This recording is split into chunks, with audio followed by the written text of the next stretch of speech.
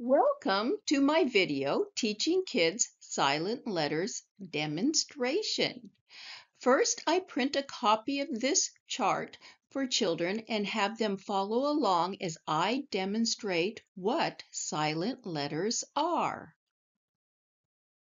This is a chart that kids have in front of them as I teach the lesson and they follow along with me. So we're going to begin with our first two letters. The G is silent and we only hear the N as in gnat, sign, and design. Then we come to K. It is silent. The arrow helps us remember that. And N is the only sound we hear in this letter combination. Knit, knew, and know. We go to LD, and the L is silent. We hear the D in could, would, and should. We come down here to LF. L is silent. We hear the F. Half, calf, and behalf.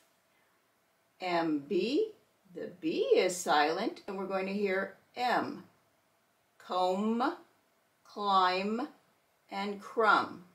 Then we have MN. N is silent, and we're going to hear the M, column, autumn, and columns.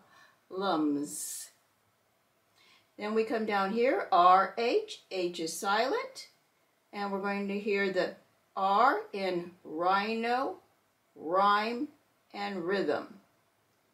SC, C is silent. We're going to hear the S in scent, scene, science. And then we have WR. W is silent. We just hear the R in write, wrap, and wrist. This is a deeper dive into silent letters to teach kids. Some letters make the same sound as in the examples N, N, M, M, and R, er. As I am introducing silent letters to kids, I use pictures to help them learn. This will discontinue when they have a good understanding of silent letters. This is one of three charts that demonstrate how letters make the same sound. This is a second chart that shows the M sound made by M, MB, and MN.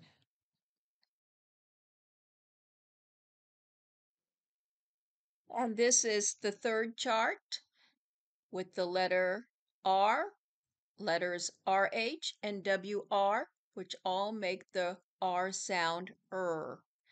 If you found this video helpful, please subscribe. If you've already subscribed, thank you. And as always, I will leave a link in the description section for the teaching templates.